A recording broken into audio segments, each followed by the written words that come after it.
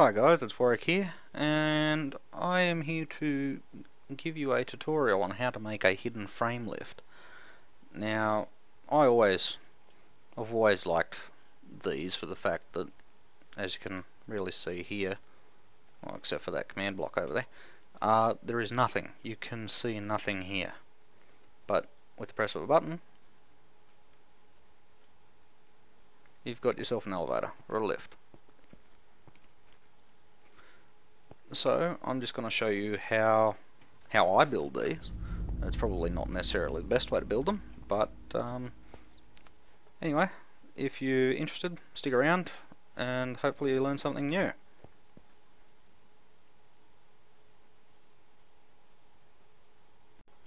Okay, first things first is we're going to make what I like to call the movement circuit. Now, the uses, the applications for this circuit is pretty much whatever you can think of. Uh, I originally found it on a YouTube channel called PyroOfZen. Now, at the time of recording, I haven't checked if the channel still exists, but if it does, I'll post a link in the description to the actual video where um, he builds this. Uh, this version is going to be a little bit different for the fact I'm going to be using wireless redstone and I'm rotating a bit of the footprint around to make it more even, so to speak. So anyway, let's get started. First we get our input, anything redstone capable. So alloy wire, insulated wire, redstone dust, it's all good. Then you get a toggle latch, put it in this way. I turn it on this side so that our circuit doesn't run while we're actually making, while we're still making it. Then you need a repeater, vanilla repeaters are fine for this fact, it's just it's on one tick. Now you got to make sure it's actually pointing into the other side of the toggle latch from the input. So or towards back of the circuit depending on which way you make it. Once you do that off the side of this repeater you put your timer. Now we I like to set it to about 850 so it's usually a pretty good amount of time for your uh, blue electric motors. Then you get a, or we get our white insulated wire. This can be any color that you want. Um, just as long as, say, if I use white throughout the whole circuit, you make sure you use the same color, or otherwise it's not going to work. Okay, and then off the timer, we use a counter. Now I've got to make sure our maximum count and decrement are the same, what you're going to be setting here is amount of blocks, how many blocks it has to move till it gets to the top and to the bottom or where it needs to go. So in my case it's going to be 4 but as I said it can be anything that you want the frame lift to move. And then when you finish that you put any kind of well any kind of wire here you can just use red alloy wire it's usually a bit cheaper if you're doing this in survival Okay, and then we get our bundle cable.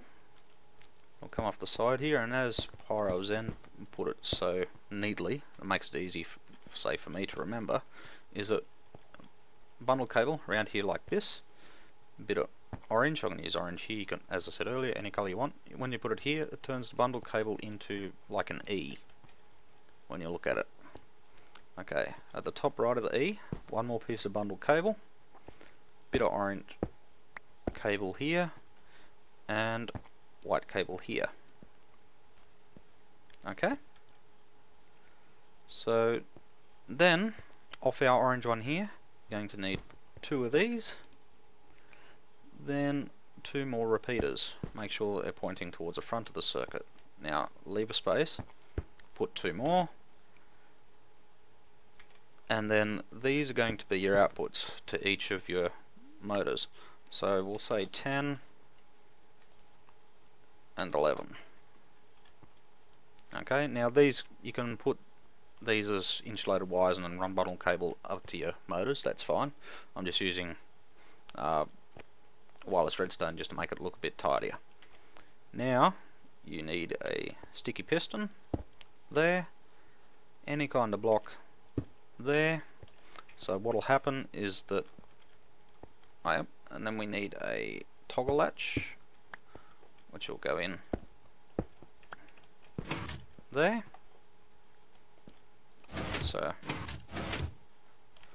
the lever on the button, as I've heard people call it. And then you can use any other colour of insulated cable. I'm just going to pick one at random. That goes into there. And that's pretty much your movement circuit set up. So, hang on, we'll set up 20 as our input. Okay, that should be it. That's your movement circuit set up. So what happens is that when we get 20 on our wireless transmitter, it'll pulse four times out there, and then it'll do it this way so that it's ready to go, but in the opposite direction. So this is our direction changer. So 10 is up, 11 is down. We'll run this again. So it's going to pulse four times up. It's going to change to the down position, ready to go down. And that's the movement circuit done. Of course fill this in, or if it's in a cave or whatever, can make it hidden if you want. Um, I'm pretty sure you guys don't want to watch me do, fill this in, so I'll do that off camera. Um, I'll also dig out the hole ready for the actual lift, and I'll be back. And I'm back. Now this is our hole, or the hole I'm going to be using to build the actual lift in. Okay, now first things first, this is going to be a 3x3. I like to give myself two blocks either side just to make it a bit easier to uh, get around while I'm building it. Uh, so,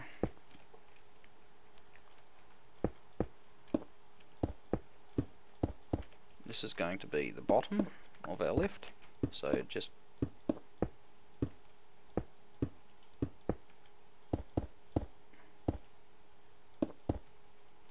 Okay, that's the basics of the lift.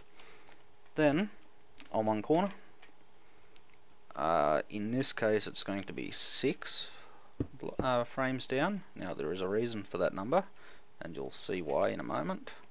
So let's do three, four, five, six, and then one off the side. Actually bring it inside like that way. Okay, once that's done, and make sure that you place covers on all of the outside surfaces. You can put whatever you want on the inside here but all of the outside surfaces here make sure you put covers on it. I'll put them on and I'll be back. Okay and now that we've got all, all got that covered pun um, then on top you see how these uh, don't have covers on them? Just place whatever the ground is adjacent to it and because what will happen is that that will sit flush with this so it'll be completely hidden. Okay and then down here what we're going to do is the reason for this lip. If we put blocks here like this that's going to act as a stopper so that once it's there like it is now we don't want it to go any higher than that that's exactly it. It's not going to go any higher. Now this platform is also going to serve another purpose. That's where our motors are going to go. So if we place our two motors down, like so, grab a screwdriver. Now, I see a lot of people have problems with wondering, okay, well, the, this is the actual drive face of it, and it's the only side that actually has an arrow on it, which direction it's facing. So like that's saying it's up at the moment and that's saying it's down. It's going to pull down that way. Uh, I've also noticed that this little black part of the the wheel, so to speak, the bigger side, or the way that it's facing, is the way that it will spin. So that if we turn that around, you'll see this one, it's facing down, this one it's facing up. So if we turn those ar around, so that that one's our up, that one's our down. Next we place our two inputs from our circuit. In this case we said that up was going to be 10, 11 is going to be down. So up is 10 and down is 11. Okay. Then make sure you've got power to the whole shebang. So I'm just going to grab a few batteries here. Now I think it's these ones, yeah.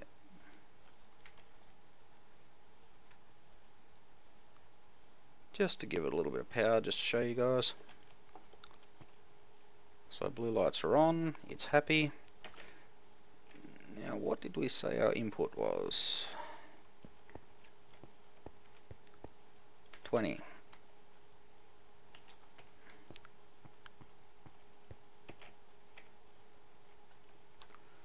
So, it's already in up position. We make sure that this is going to be set down. So wherever this block is, is going to be which way it's going to go. And then cross your fingers. Yeah, cross your fingers that this actually works. Now, this didn't work for the fact that um, this could only go down so far. So you've got to make sure that this can actually go down enough, or otherwise it'll just stop. So Okay, round two. Let's see how it goes. Uh, still can't do, go down far enough. It's either that or I've missed a face here somewhere. This is why I said make sure all faces are covered. Now, this is another reason why, or the primary reason, that I always put this on, is so that because it's one block too high from the down position and this is going to be set to go at 4 but there's only 3 it can move or it's supposed to move so if we tell it to do that it'll go as far as that and stop okay now that we've get, covered that face up let's have another go round three, third time lucky there we go and believe it or not that is it. So just cover this in.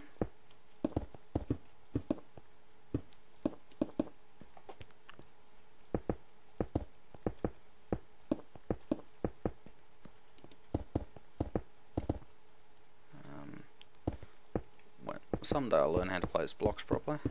Okay, nice and covered. Suppose we can cover that up as well. And then hidden left.